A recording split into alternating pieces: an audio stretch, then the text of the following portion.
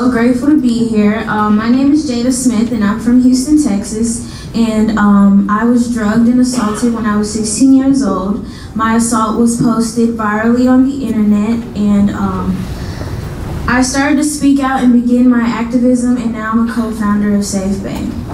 Hi everyone, my name is Ella Fairon. I'm from Newport Beach, California, and at the age of 14, I was beaten, drugged, and raped by two very well-known athletes from my high school, which has led me into my activism with SafeBAE. Hi, my name is Charlie Coleman, and um, I'm from Kansas City, Missouri.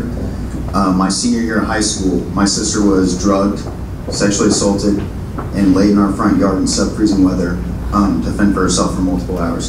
The guys that did this at this time were my friends, who I thought were my best friends. They were my teammates, my classmates, and after my sister's assault, we were ridiculed, we were tortured on social, any sort of social media, text, email.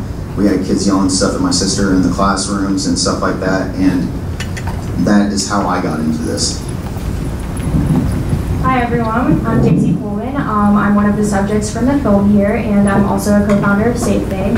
When I was only 14 years old, I was sexually assaulted and left in my front yard after being inebriated at my brother's friend's house. And this all eventually led to my work in activism and eventually this film actually.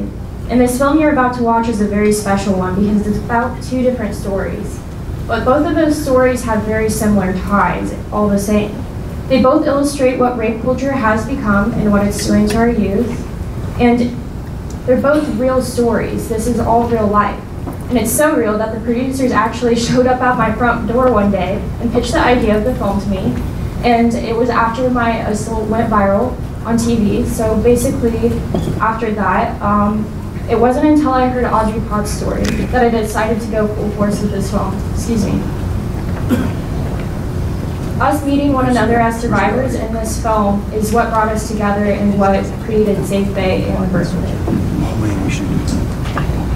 The name SafeBAE is significant to us because BAE, before anyone else, means that this organization was created to prevent what happened to us not to happen to anyone else.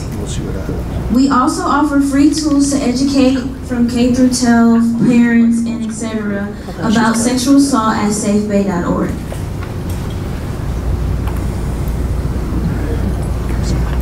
And the way that we um, approach high school and college students is different, but it's also similar. We always ask the students that they put themselves in the shoes of a victim and um, really ask them what it would feel like if a loved one, one of their loved ones, was sexually assaulted. Um, we get we get the high school students in small, interactive, and proactive circles where we're really having a discussion with them about how they feel rape culture takes a part in their community, which leads me to the subjects and materials that we bring to the table. We specify in these points. First being, um, sorry. What?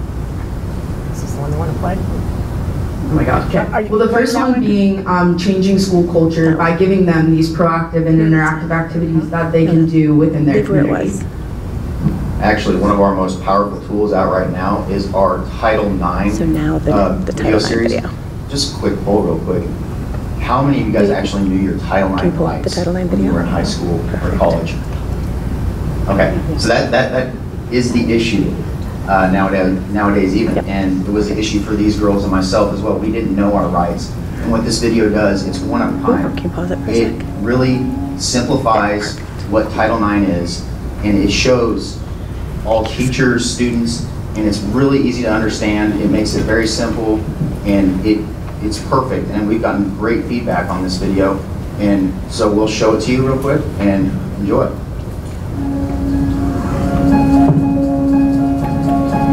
I am Title IX. Title IX prohibits sexual harassment, discrimination, or assault. in any federally funded education programs like your school. I am Title IX. Title IX requires schools to tell you and your parents About its policies against sex discrimination, such as sexual